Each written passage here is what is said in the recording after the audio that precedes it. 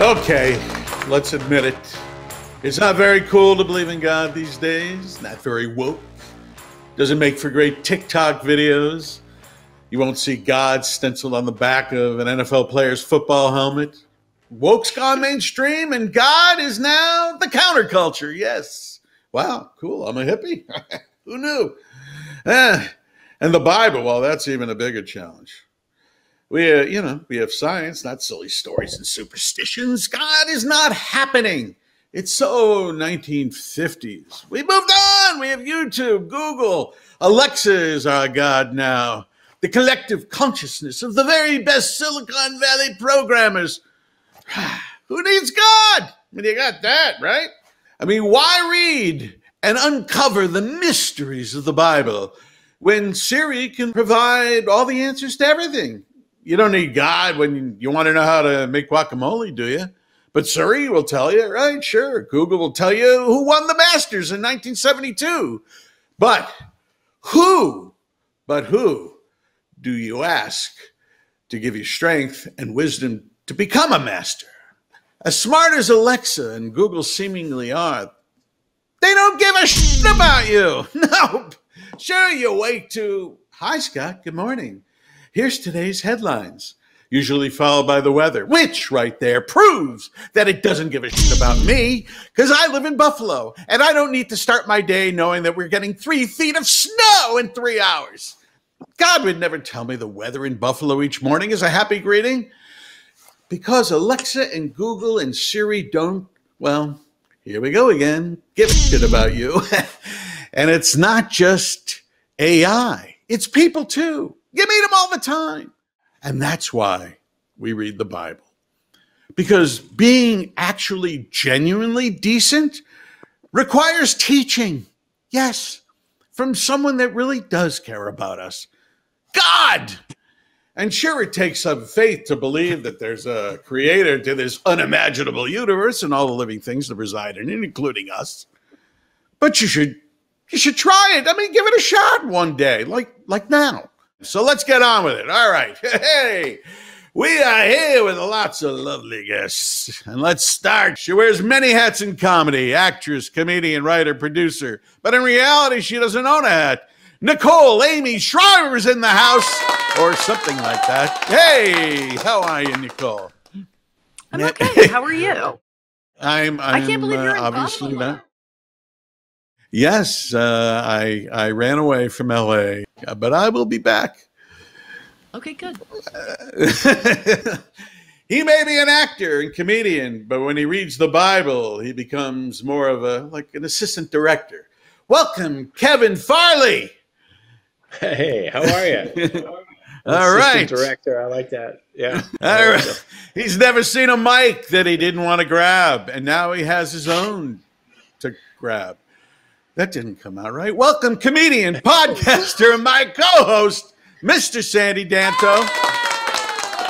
I just had my mic in my mouth that I was desperate to grab. Uh, oh boy, yeah. She's petted more animals than panicky service dogs request her to be their service human. Welcome, actress, thinker, my sidekick, Jacqi Venney. Hi. I've never been referred to as that, but what a lovely thing to think of me as. You're a service human. You're a service human. Yes, and But uh, for the animal. yes. Oh, for the animals. Yes, for the animals. hey, we are flirting with the tail end of Cain and Abel, Adam and Eve's brood. In Genesis chapter 4, Cain gets jealous, takes out his brother. It's a horrible thing. God's upset and sends Cain into exile in the land, but he marks Cain, which protects him from being murdered. All right, this is Genesis chapter 4, verse 17, as we continue from last week. And Cain knew his wife, and she conceived and bore Enoch. And he was building a city, and he called the city after the name of his son Enoch. All right, this has got to be like a tell of something, especially because in the first verse of this chapter, when it's Adam and Eve, and it says, Now the man knew his wife. Really, the man knew his wife. Ah, I'm not taking the bait. We continue. And she conceived and bore Cain.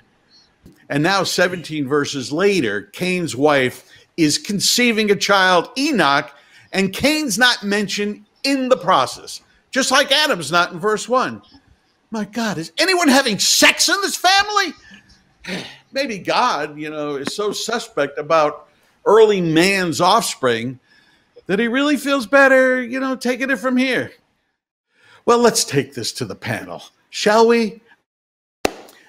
All right, who do we go to first? We're going to go to Nicole first. Now, why is there seemingly emphasis on this conceiving a child without a dude? What's going on here?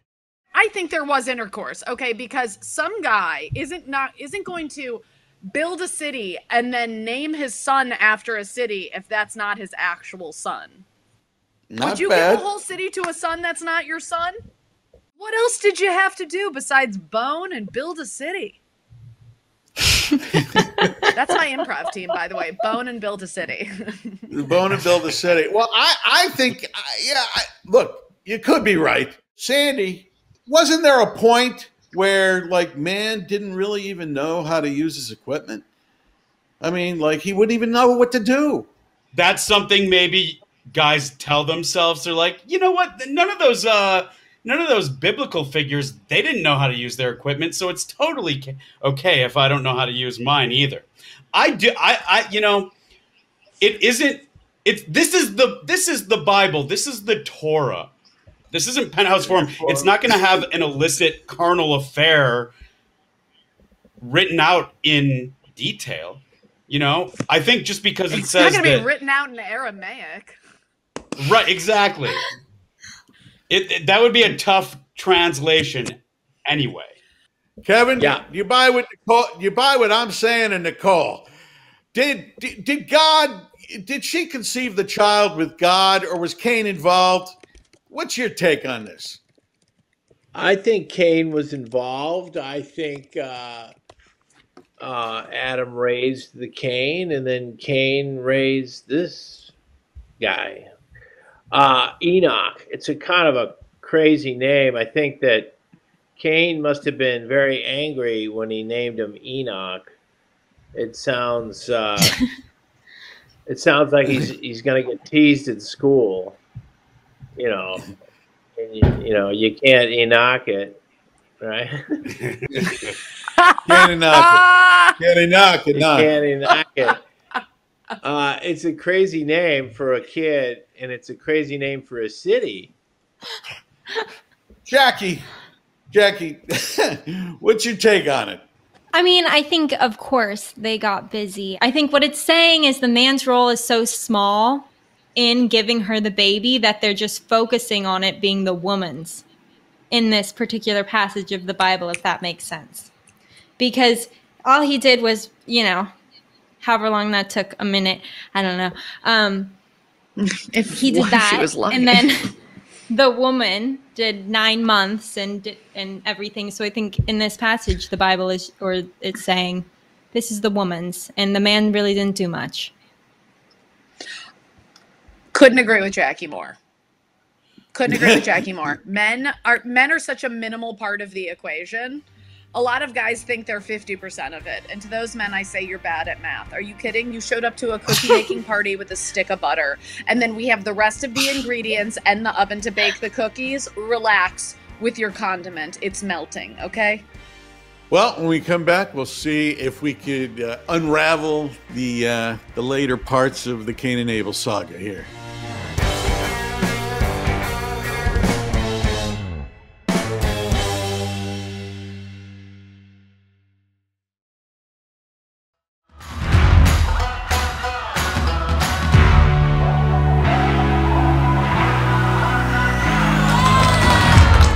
Okay, we're back, hopefully finishing up Genesis chapter 4, verse 17. And Cain knew his wife. She conceived and bore Enoch, and he was building a city. And he called the city after the name of his son Enoch. Wow. So the first thing that humans do after like tilling the soil and wandering around and having a kid is to build a city. Not a crib. That would be nice. But as Einstein once said, God doesn't play dice with the universe. This isn't an accident that Cain does this first in the Bible. Apparently, God wants us to have cities. Not sure what a city gives us except traffic, crime, and a lot of crappy diners named Tom's. But then again, the alternative isn't so great. Living isolated away from others in flyover country obsessed with the soy crop, that's not so great as well. But I guess that could be the point here. God doesn't want us to be isolated from each other, at least for too long. He wants us to congregate, to exchange ideas, form groups, put up signs, tear down signs, get in fights, bash it out, live on top of each other, on the bottom of each other. Maybe he's right. We need cities as much as us so enlightened people think we don't. This spring and summer, you couldn't get me out of the garden. I was floating away there, flowers. Oh, by the end of the summer, in a glorious yard. But then the fall came and it all just died on me. And then I realized I didn't really accomplish anything tangible, like moving my life forward in any substantial way. I barely had a conversation with anybody. It was great, but it was also like missing something, like other people. God wants us to have cities because perhaps he's concerned that we might get a little too enamored with his creations. When we find ourselves marveling at the foliage way beyond peak You know, Sandy, I'm going to you first. You can stare at a sunset for only so long, and eventually your maculas will be destroyed and the lights go out. Sandy, why do we need cities? You need the cities so people can mix and mix ideas and, and have their strong feelings and thoughts challenged and, and see different perspectives and and share art and ideas and music and you know the things that God knew we needed to do. You know, God gets it. Nicole, why does God think we need cities so badly? I mean, as a Jew, allergy season's pretty rough in Montana. You know, I gotta get out. I gotta get out of the uh, uh, grass. Me and grass, we're we're not a thing. You want a picnic with me? How much Claritin do you have? yeah, I gotta. I cannot be in a rural area. It's just not an option. I, am a city dweller. I need to congregate with my people. Also, I need something to complain about. As I and I feel like a lot of people are like that. If you're just living in nature, you're going to be happy all the time. That's where's the comedy coming from? Where's the struggle? Oh, you need to build a fire. Go get a rock and some some I don't know, sticks, but it's just like when you're in the city, ah, the mwah, it's the nectar of life. There's so much to bitch about. That's what I'm here for. So God basically wants us to complain in some way, but not yes, too much. Absolutely. Yeah. We're not complaining, we're not living. At least maybe Jews. Listen, if you are not if you're not analyzing every single thing and having an opinion about every single thing, are you even a Jew? Are you even human? First of all, that's why Jews are. I mean, we need comedians. Comedians aren't coming from a happy upbringing in the woods. Now, Kevin Farley, Johnny Carson yeah. came from Nebraska. How do you explain that? Right. I can't. Um, I uh, I've been to Nebraska. Uh, no, my guess is uh, Johnny developed his humor because Nebraska, you probably had to come up with your own entertainment because uh, there's not a lot going on over there.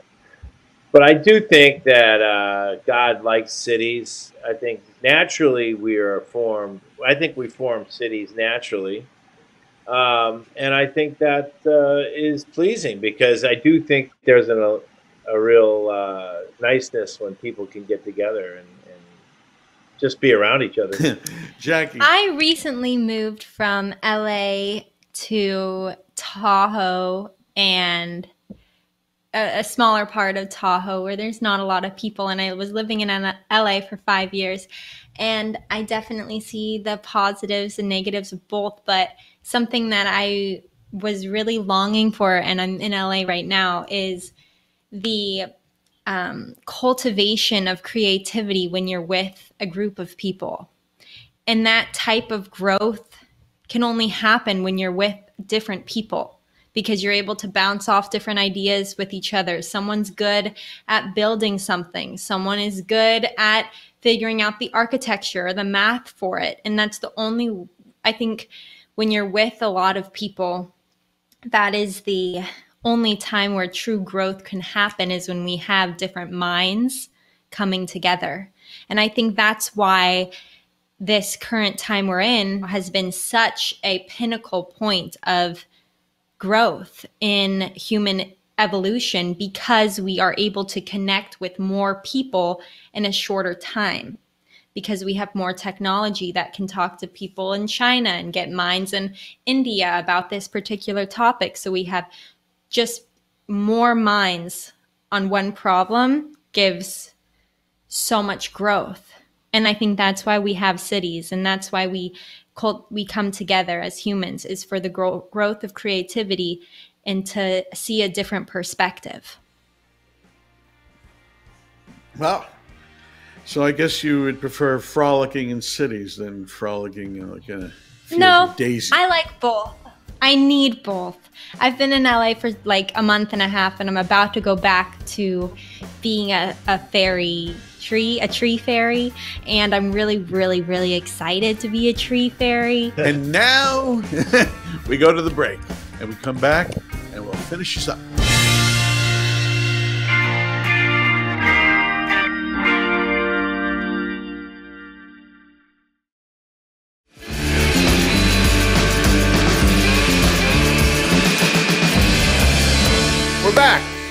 Genesis chapter 4, verse 18 to verse 22. And it's time now, we finally have reached it, the begots part of the Bible. Exciting, thrilling. Verse 18. And Irad. Oh, I'm going to blow all these names, so please forgive me, God, or anybody watching. Uh, It's going to be bad.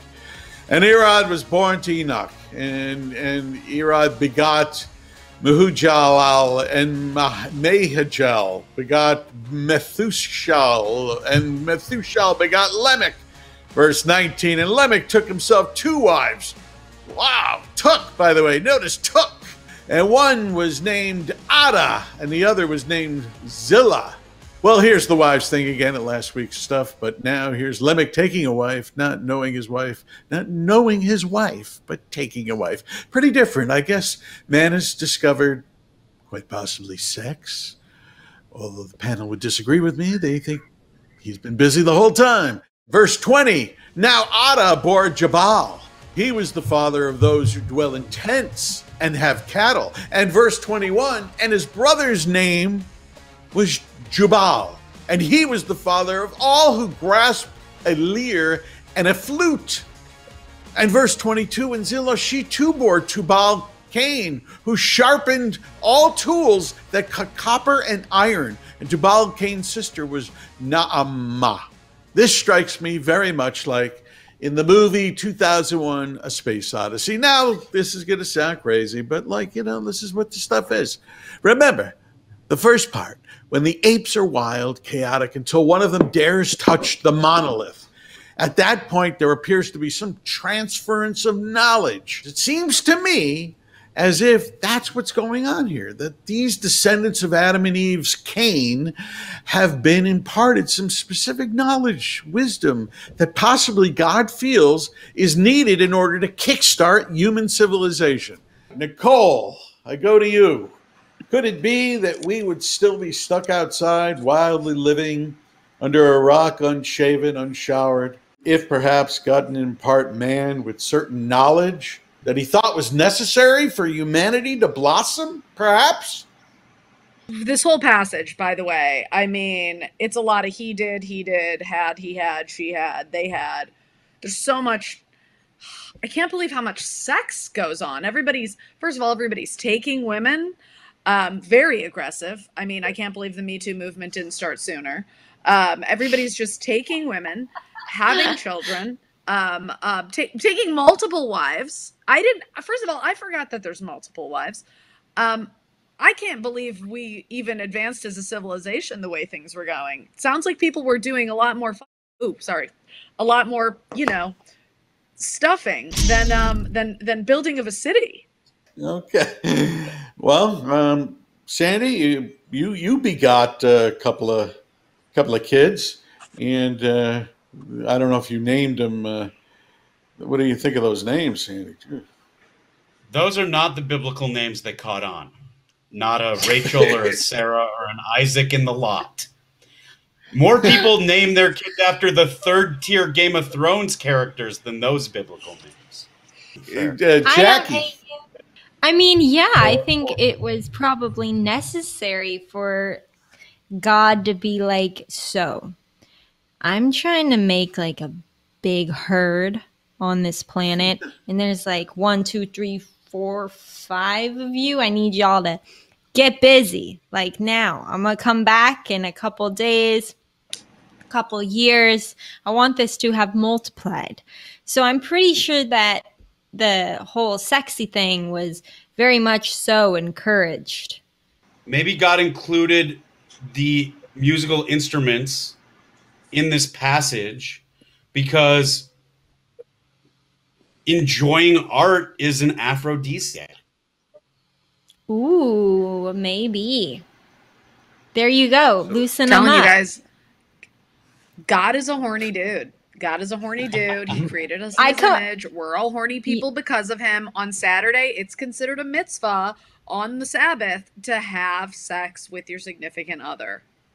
I It's think right there. you're on. We're just we're meant to be horny. This should just be titled the sex chapter. I don't know why they call it getting I busy and messing around. God says get busy, and then he starts, and then you say okay, and then doing what? You know, messing around. Well, which one? Messing around or or getting busy? I don't know. Doesn't seem they seem like two opposite things. I don't know. It's a dumb Quit messing joke. around. No, no. Get busy. get busy. I think I think But he I, wants you uh, to get busy, messing, making a mess. I think m- get m- messing around. Sex is supposed to be messy. This is God encouraging you to have kinky, messy sex. Kinky Yeah, and messy sex. Well, thank you guys for coming on, and that's it for tonight. And uh, well, uh, we'll continue with Cain and Abel and uh, Genesis next week.